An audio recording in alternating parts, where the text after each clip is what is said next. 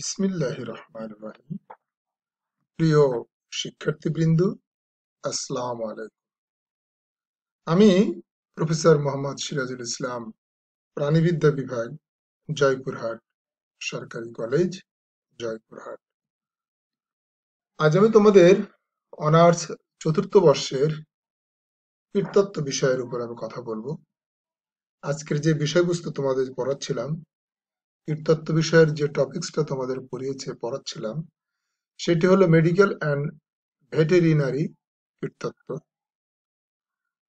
এই মেডিকেল ও ভেটেরিনারি কীটতত্ত্বের আজকের যে টপিকসটা তোমাদের আমি পড়াবো, সেটি হলো মাইটস গতদিন আমি তোমাদের টিক্স পড়িয়েছিলাম। টিক্সের বাংলা হচ্ছে আঠালি, আর মাইটস এর বাংলা হচ্ছে মাকড়। মাকড় সম্বন্ধে আজকে তোমাদের আমি পড়াবো। এটি আমার এই অধ্যায়ের আঠারো নম্বর লেকচার। বর্তমানে করোনা নিয়ে আমরা খুবই উদ্বিগ্ন। কাজে করোনার সময় তোমরা সবাই ঘরে থাকবে, তোমরা ভালো থাকবে, সুস্থ থাকবে এবং নিরাপদ থাকবে।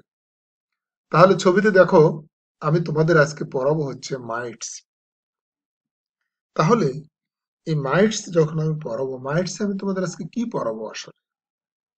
আজকে যে শিখন ফলটি যে আছে, সেই শিখন ফলটা যদি দেখাই, তোমরা আজকে আমরা মাইটস এর আমরা শ্রেণীবিন্যাস করতে পারব। আমরা মাইটস এর বা মাকড়ের বৈশিষ্ট্য বলতে পারব। আমরা মাইটস এর জীবনচক্র বর্ণনা করতে পারব। আমরা মাইটস এর রোগ তত্ত্ব বর্ণনা করতে পারব এবং টিক্স ও মাইটস এর মধ্যে পার্থক্য করতে পারব। যেহেতু গতদিন আমি তোমাদের টিক্স পড়িয়েছি, আজকে মাইটস পড়ানোর পরে তোমাদের আমি শেষে একটি প্রশ্ন দিব, টিক্স ও মাইটস এর মধ্যে পার্থক্য একটি গুরুত্বপূর্ণ প্রশ্ন। এখানে শিখন ফলে যে অংশগুলো তোমাদের আমি দিচ্ছি প্রত্যেকটা জিনিসই এই মেডিকেল এন্টোমোলজিতে তোমাদের পড়ানোর সময় যে যে জিনিসগুলো আমি তোমাদের পড়ালাম, এর বাহিরে কিন্তু কোনো কোশ্চেন আসার পথ নেই। কাজী তোমরা মনোযোগ সহকারে এই জিনিসগুলো একটু পড়বে এবং প্রত্যেকটা জায়গা থেকে তোমাদের কিন্তু প্রশ্ন তোমরা নিজেরাই বের করে ফেলতে হবে, কারণ শিখন ফল দেখলে তোমরা বুঝতে পারবে যে কি কি প্রশ্ন হয়। তাহলে চলো আমরা কথা না বাড়িয়ে আমরা পড়াশোনায় চলে যাই। মাইটসকে তোমরা দেখতেই পাচ্ছ।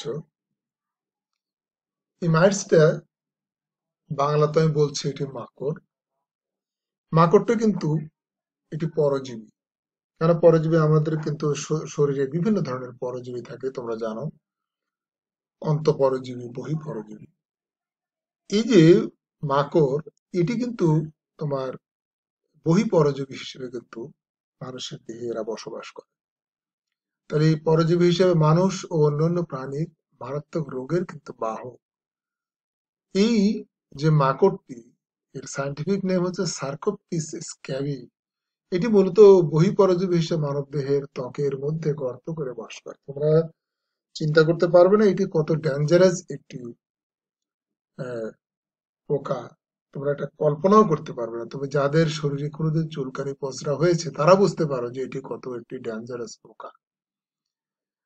তো আমরা শিখন ফলে বলেছিলাম যে আমরা এর শ্রেণীবিন্যাস করতে পারব। অবশ্যই এটি ফাইলাম আর্থোপোডা আর ক্লাস অ্যারাকনিডা অ্যারাকনিডা কেন বলছি? তোমরা একটু ছবিতে খেয়াল করো। এদের চার জোড়া পা আছে। যারা অ্যারাকনিড তাদের সাধারণত ফোর পেয়ার্স অফ লেগ থাকে আর তাদেরকে আমরা অ্যারাকনিড বলি আর কি। অ্যারাকনিড কাকে বলে? এটা কিন্তু গত ক্লাসে আমি তোমাদের বলেছি অ্যারাকনিড কাকে বলে। Order Acarina, family Sarcoptidae, genus Sarcoptes, species Sarcoptes scabiei এটির কিন্তু ইংলিশ কমন নেমটা কিন্তু হিউম্যান স্ক্যাবিস মাইটস বলা হয় আর কি। মানুষের চুলকানি আর কি। তাহলে আমরা এর শ্রেণীবিন্যাসটা জেনে গেলাম। আরেকটি গুরুত্বপূর্ণ টপিক হচ্ছে এর বৈশিষ্ট্য। দেখতে ছোট, সাদাটে অনেকটা গোলাকার। এদের দেহত্বক পাতলা। এবং এক বা একাধিক জোড়া চোখ থাকে, যেটা খুব সূক্ষ্ম প্রাণী, আমরা এখানে তো অনেকগুলো জিনিস দেখাতে পারছি না। এদের ন্যাথোসোমা ন্যাথোসোমা মিনস এদের যে প্রোথ্রাক্স এটা কিন্তু খুব সংক্ষিপ্ত। ন্যাথোসোমা কি জিনিস আমি গত ক্লাসে বলেছি? এদের স্কুটাম থাকবে না। আর এরা সাধারণত উষ্ণ রক্ত বিশিষ্ট প্রাণীর দেহে বহি পরজীবী হিসেবে বাস করে। আমি প্রথমে তোমাদের বলছিলাম যে এটি কিন্তু বহি পরজীবী। কাজে বহি পরজীবী হিসাবে কিন্তু এটি উষ্ণ রক্ত বিশিষ্ট মানে তোমরা জানো, দুই ধরনের প্রাণীকে আমরা জানি। তোমরা যেহেতু উষ্ণ রক্ত বিশিষ্ট বলছি, তোমরা সঙ্গত কারণেই আমাকে প্রশ্ন করতে পারো। তাহলে শীতল রক্ত বিশিষ্ট প্রাণী এরা কিন্তু উষ্ণ রক্ত বিশিষ্ট প্রাণীর দেহ। তাহলে আমি শীতল রক্ত বিশিষ্ট আমি প্রাণী কাকে বলে সেটা আগে বলি। যে সমস্ত প্রাণীর দেহের তাপমাত্রা পরিবেশের তাপমাত্রার সাথে ওঠানামা করে, তাদেরকে বলি আমরা শীতল রক্ত বিশিষ্ট প্রাণী। আর যাদের ওঠানামা করে না, তাদেরকে বলি আমরা উষ্ণ রক্ত বিশিষ্ট প্রাণী, যেমন মানুষ, বিভিন্ন স্তম্ভ তাহলে আমরা আরেকটি বৈশিষ্ট্যের দিকে যদি খেয়াল করি, নিম্ফ অবস্থায়, নিম্ফ তো তোমরা জানো, নিম্ফ মানে যেটি যে সমস্ত প্রাণীগুলো দেখতে অনেকটা পূর্ণাঙ্গ প্রাণীর মতোই, কিন্তু তাদের প্রজনন তন্ত্রটা পরিণত নয়। তাদের তারাই হচ্ছে নিম্ফ। কাজে নিম্ফ অবস্থায় এর পূর্ণাঙ্গ মাইটের মতো দেখতে, আকৃতিতে ছোট। কিন্তু এদের প্রজনন তন্ত্রটা অতটা অ্যাক্টিভেটেড নয়। যাদের প্রজনন এবং নিম্ফ এবং অ্যাডাল্টের মধ্যে পার্থক্য, এটি একটা গুরুত্বপূর্ণ পার্থক্য যে যারা নিম্ফ, তাদের প্রজনন তন্ত্রটাই অ্যাক্টিভেটেড নয়। তাহলে আমরা মাকড়ের যে বৈশিষ্ট্য, সেটা আমরা জেনে গেলাম। এরপরে আমরা এদের জীবনচক্রের দিকে যে একটু আলোকপাত করি, এটি কিন্তু একটু গুরুত্বপূর্ণ প্রশ্ন হতে পারে তোমাদের যে মাইটস এর জীবনচক্র বর্ণনা করো। এদের জীবনচক্র যদি আমি বর্ণনা করি, এদের জীবনচক্রে তোমরা ছবির দিকে যদি খেয়াল করো, এদের জীবনচক্রে কিন্তু চারটি দশা পরিলক্ষিত হয়। চারটি দশার মধ্যে কি কি দশা আমরা বলতে পারি? একটি হচ্ছে এগ, ছবির দিকে যদি একটু তাকাও তোমরা, একটি হচ্ছে এগ একটি হচ্ছে লার্ভা একটি হচ্ছে নিম্ফ আরেকটা হচ্ছে অ্যাডাল্ট একটু অ্যাডাল্টের ক্ষেত্রে একটু খেয়াল করো তোমরা একটু, এটা একটু তোমাদের জানার বিষয়। এখানে দেখো মেল এবং ফিমেল খেয়াল করো মেল এবং ফিমেল এই দুটি প্রাণীর মধ্যে কিন্তু দেখা যাচ্ছে ফিমেলটা হচ্ছে বড়। কতটুকু বড়? এই মেলের ঠিক দ্বিগুণ কিন্তু এই ফিমেলটা তাই কাজেই এটা মেল এবং ফিমেল এই মেল এবং ফিমেল যখন তাদের প্রজনন ঘটায় আর তাদের যখন নিষেক হয়, নিষেকের পরেই কিন্তু এরা, তারা ডিম পারে। তাহলে ডিম আমরা কখন পারে বলি? নিষেকের পরে। যৌন মিলনের পর কিন্তু স্ত্রী মাকড় মানুষের ত্বকে গর্ত করে সুরঙ্গ সৃষ্টি করে ফেলে। তোমরা চিন্তা করতে পারবে না যে কত ডেঞ্জারাস সুরঙ্গ করে। এবং সেখানে এই যে স্টিমাইডসগুলো প্রায় চল্লিশ থেকে পঞ্চাশটি ডিম পারে প্রতিদিন দুই থেকে তিনটি করে প্রায় দুই মাস পর্যন্ত কিন্তু এরা ডিম পারে কিন্তু এদের ডিমের ছবিতে দেখো, যেখানে এগ লেখা আছে, এদের ডিমটা কিন্তু দেখতে অনেকটা সাদা বা মসৃণ হয়ে থাকে। তাহলে এদের ডিমটা দেখতে কেমন তা জানলাম। কতগুলো করে ডিম পারে তা জানলাম। তাহলে ডিমের যে বর্ণনাটা সেটা আমরা পেয়ে গেলাম। তারপরে যদি আমরা যাই, এখানে এটি হচ্ছে লার্ভা লার্ভার কিন্তু একটি লার্ভা কিন্তু অ্যাডাল্টের মতোই দেখা যায়, কিন্তু এর একটি গুরুত্বপূর্ণ যেটা বৈশিষ্ট্য সেটা হলো, এই লার্ভার কিন্তু থ্রি পেয়ার্স অফ লেগ থাকে। দেখো এদিকে তিনটা এদিকে তিনটা। এটি হচ্ছে লার্ভা ইনস্টার নিম বলা হয়, কিন্তু ইনস্টার নিম হলে যেহেতু three three pairs of leg থাকলে তাকে আমরা বলব লার্ভা তাহলে আমরা লার্ভার যদি বর্ণনা একটু যাই লার্ভার বর্ণনাটা কি হচ্ছে? যে ডিম থেকে প্রথম বের হয়ে আসার প্রথম অপত্য মাকড়টিকে আমরা বলব লার্ভা এরা দেখতে কিন্তু, ছবিতে আমি যেটা তোমাদের দেখালাম, যে এরা দেখতে কিন্তু অনেকটা পূর্ণাঙ্গ পতঙ্গের মতো হলেও এদের অন্যতম যে প্রধান বৈশিষ্ট্য সেটা হচ্ছে এদের থ্রি পেয়ার্স অফ লেগ থাকবে। এবং এদের যে তিন জোড়া পায়ের মধ্যে যে এদের অগ্রভাগের যে দুই জোড়া, এই দুই জোড়া পদে থাকে চোষক। চোষক মানে যা দ্বারা দেহ থেকে কোনো কিছু জিনিস শোষণ করে এবং পিছনের যে এক জোড়া পথটি থাকে, এখানে এক ধরনের ব্রিসল থাকে। ব্রিসল মানে ওখানে পশমের মতো কিছু অংশ থাকে। এই ব্রিসলটা পিছনের দিকে বহন করে। এরা, এদের কাজ হচ্ছে, এরা ত্বকের সবসময় ক্ষত সৃষ্টি করে।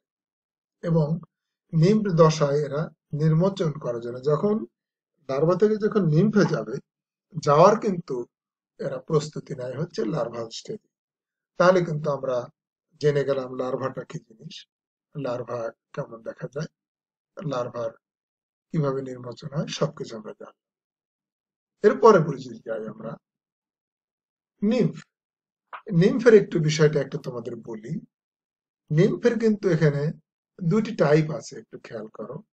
একটি প্রোটোনিম্ফ একটি ডিউটোনিম্ফ তাহলে কিন্তু, দেখো নিম্ফ কিন্তু এদের কিন্তু দেখো, এখানে ফোর পেয়ার্স এদিকে চারটা এদিকে চারটা।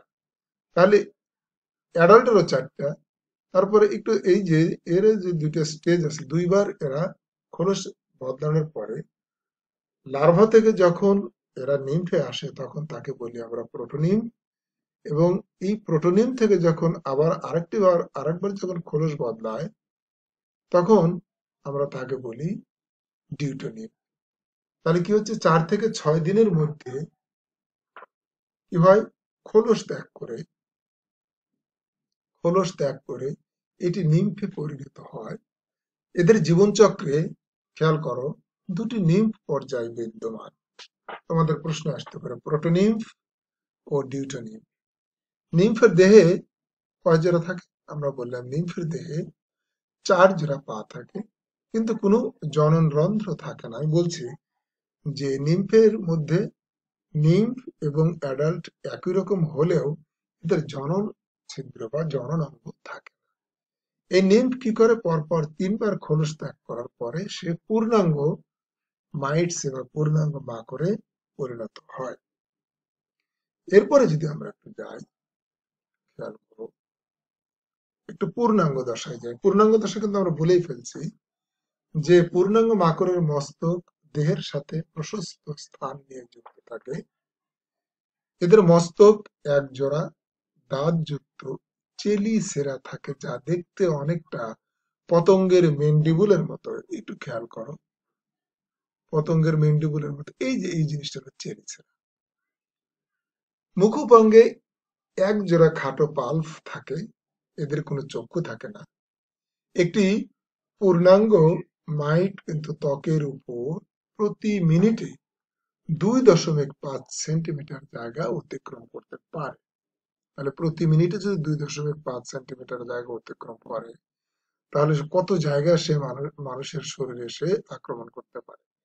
কাজী প্রজননের পূর্ববর্তী সময়ে একটি স্ত্রী মাইট অনেক বড় আকার ধারণ করে। কতটুকু বড় হতে পারে? যা প্রায় একটি পুরুষ মাইটের দ্বিগুণ হয়ে থাকে। প্রথমে তোমাদের আমি বলেছিলাম যে এটা কিন্তু প্রায় পুরুষ মাকড়ের দ্বিগুণ হবে একটি স্ত্রী মাইট তাহলে আমরা কিন্তু এর জীবনচক্রটা জেনে গেলাম। জীবনচক্রের পরে আমরা কোথায় যাব? জীবনচক্রের পরে আমাদের যে শিখন ফলে ছিল রোগ তত্ত্ব আমরা রোগ তত্ত্ব নিয়ে একটু কথা বলব।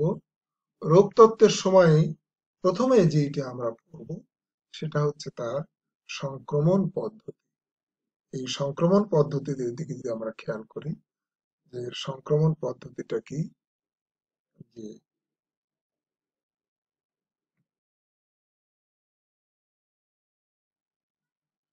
মানুষের দেহে সংগঠিত চুলকানি পাসরাকে মানুষের চুলকানি পাসরা বলে। আমরা যেটা কমন ভাষায় আমরা যদি বলি, দেশীয় ভাষায় চুলকানি চুলকানি পাসরা এটি কীভাবে সংগঠিত হয়? তোমরা জানো, যে প্রাণীটিকে আমরা পড়ালাম তার নাম সার্কোপটেস স্ক্যাবি এই সার্কোপটেস স্ক্যাবি যে মাকড় বা মাইটস এর আক্রমণে কিন্তু এই রোগটা সংক্রমিত হয়। কেন? রোগতত্ত্বের মধ্যে আমার থাকবে সংক্রমণ। একে সংক্ষেপে আমরা চুলকানি বা স্ক্যাবিজ বলে থাকি। তাহলে স্ত্রী ও পুরুষ উভয় ধরনের মাকড় দ্বারাই কিন্তু এটি সংক্রমিত হয়। সংক্রমিত কোনো প্রাণী বা প্রতিবেশীর সংস্পর্শে আসার কারণে সুস্থ মানুষের দেহে কিন্তু এটা সংক্রমিত হয়। তাহলে আমরা প্রথমে জানলাম সংক্রমণ। রোগতত্ত্ব জানতে গেলে তোমাদেরকে প্রথমেই সংক্রমণ, রোগতত্ত্বের ডেফিনেশনে যা বলে সংক্রমণ। তারপরে দেখো, এই যে সংক্রমণ হলো, সংক্রমণ হওয়ার পরে কি কি ধরনের লক্ষণ প্রকাশিত হবে এই চুলকানি পাসরাতে? চুলকানি পাসরা আক্রান্ত ব্যক্তির দেহে, দেহের ত্বক প্রথমত অনবরত চুলকাতে যেহেতু এর নাম চুলকানি, অবশ্যই চুলকাবে। এবং চুলকানির সঙ্গে কিন্তু অনেক সময় রক্তক্ষরণ হয়। এবং রক্তক্ষরণের কারণে কিন্তু এদের যে ওই বিস্তৃতিটা বেড়ে যায়। এবং এই যে চুলকানিটা হয় চুলকানির ফলে এক ধরনের নালীর ভিতরে এক ধরনের নালীর সৃষ্টি হয়, যে নালীর ভিতর দিয়ে কিন্তু এই মাকড় চলাফেরা করতে পারে। ফলে কিন্তু অল্প দিনের মধ্যেই কিন্তু এই ত্বক ছিঁড়ে মাকড়গুলা কিন্তু দেখবে। ত্বক ছিঁড়ে মাকড়গুলা কিন্তু এপিডার্মাল স্তরে এপি মানে বহি। এপিডার্মাল স্তরের এপিথেলিয়াম কোষগুলোকে এরা আক্রমণ আক্রমণ করার পর কি হয়? এই আক্রমণের ফলে এই রোগের কারণে ঘা হয়, সেখানে পাঁচরা হয়, সর্বোপরি ওখানে পুজের সৃষ্টি হয়। এই পুজ তৈরি হয়ে যায়। যখনই পুজ তৈরি হয় তখন কিন্তু এই যে তোমার যে ঘা, পস্ত্র যখন পুজ তৈরি হয় পুজ তৈরি হওয়ার সময় কিন্তু রোগী অনেক দুর্বল হয়ে যায়। তাহলে আমরা কিন্তু জানলাম তার রোগের লক্ষণ। এখন যেমন রোগটা যে হলো, সেই রোগটাকে আমি কীভাবে নিয়ন্ত্রণ করব? এর দুই রকমের ব্যবস্থা আছে, একটা প্রতিরোধ ব্যবস্থা আর একটা প্রতিকার ব্যবস্থা। প্রতিরোধ ব্যবস্থার ভিতরে কি আছে? যে যে স্ক্যাভিস মাকড় আক্রান্ত রোগীকে সবসময় অন্যদের থেকে আলাদা রাখা উচিত। এটি একটু ছোঁয়াছে কিন্তু, চুলকানি পাঁচরা যার আছে, সে যেই হোক না কেন, আত্মীয় যত আপনই হোক না কেন, তার থেকে দূরে থাকতে হবে। কেন রোগ, মানুষ আপন, কিন্তু রোগ কিন্তু আপন। বর্তমান করোনার সময় কিন্তু, করোনা আক্রান্ত ব্যক্তি থেকে কিন্তু আমাদের দূরে থাকতে হবে।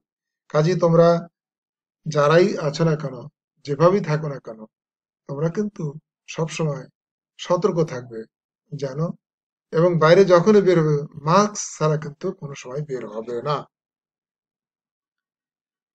আক্রমণের প্রারম্ভে রোগীর সারা দেহ ঈষৎ গরম পানির সাহায্যে ধুয়ে ফেলার ব্যবস্থা করা। প্রয়োজনে চুলকানি, রোধক সাবান দিয়ে নিয়মিত গোসল করা। এবং গ্রামে আমরা দেখেছি যে নিম পাতা একটি কিন্তু ভালো একটি অ্যান্টিবায়োটিক। এই নিম পাতা গরম পানিতে সিদ্ধ করে উষ্ণ উষ্ণ পানিতে গোসলের পূর্বে সারা দেহ ভালো করে ধুয়ে ফেলা। এটাতে ভালো কাজ হয়। এটি একটা মেইন ওষুধ। ওষুধ যাই হোক না কেন, এটি কিন্তু একটা একটা গুরুত্বপূর্ণ একটা মহা ওষুধ হচ্ছে নিম পাতা চুলকানির জন্য। আর এই মাইটের আক্রমণ যেন ব্যাপকভাবে ছড়াতে না পারে, সেজন্য রোগাক্রমণের প্রারম্ভেই উপযুক্ত ডাক্তারের সান্নিধ্যে যাওয়া এবং সুচিকিৎসার ব্যবস্থা করা। কাজেই আমাদের উচিত ডাক্তারের পরামর্শ নেওয়া এবং ডাক্তার তোমাকে একটি ভালো পরামর্শ দিয়ে দিবে। প্রতিকার কি? প্রতিকারের দিকে যদি তাকাই বেনজাইল বেনজয়েট এর পঁচিশ পার্সেন্ট ইমালশন রোগীর দেহে প্রতিদিন ঘাড় থেকে নিচের দিকে ব্যবহারের ব্যবস্থা করা আরেকটি ওষুধ যেমন আছে ওয়ান পার্সেন্ট লিন্ডেন অয়েনমেন্ট অথবা ভ্যানিশিং ক্রিম পরপর তিন চার দিন ব্যবহার করা এবং একই সময়ে রোগীর কাপড় চোপড় ও বিছানা গরম পানিতে ধৌত করা। টেট্রাইথাইল থিউরাম মনোসালফাইড ঔষধ চব্বিশ ঘণ্টা পর পর সাবানের পানিতে মিশিয়ে রোগীর গা ধোয়ার ব্যবস্থা করা। আরেকটি, এটি বর্তমানে, এটি খুব পাওয়া যায় আধুনিক কালে এই যে স্ক্যাবিস নিরোধক বিভিন্ন ওষুধ পাওয়া যায়, তার মধ্যে কিন্তু এই যে স্ক্যাবিয়াল স্ক্যাবিয়ালটা খুব সচরাচর আমরা দেখি স্ক্যাবিয়ল স্ক্যাবিনা প্রভৃতি ওষুধ কিন্তু অত্যন্ত কার্যকরী ওষুধ, এই ওষুধটা ব্যবহার করা যায়। ব্যবহার করলে কিন্তু তোমরা অনেক উপকার পাবে। এসব ওষুধ সাবান দিয়ে গোসল করার পর প্রতিদিন অন্তত একবার ব্যবহার করা। এগুলো আমি তোমাদেরকে বলব, তোমাদের যেন এই চুলকানি পাঁচড়া না হয়, এই ধরনের ওষুধপত্র যেন ব্যবহার করতে না হয়, এটি তোমাদের প্রতি আমার পরামর্শ থাকবে। তাহলে প্রতিকার আমরা পেয়ে এরপরে একটু খেয়াল করো, তোমাদের আমি শিখন ফলে বলেছিলাম যে টিক্স ও মাইটস এর মধ্যে তোমরা পার্থক্য করতে পারবে।